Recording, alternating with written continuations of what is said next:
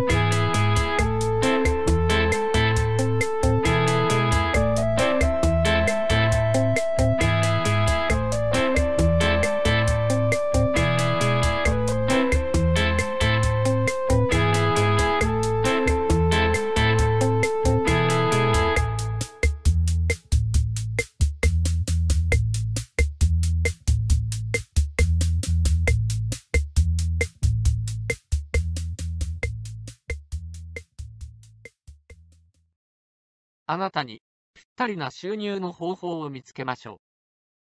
うウェブ集客の方法を見つけましょう。ここをクリックすると、いろんな収入の方法やウェブ集客の方法が見れます。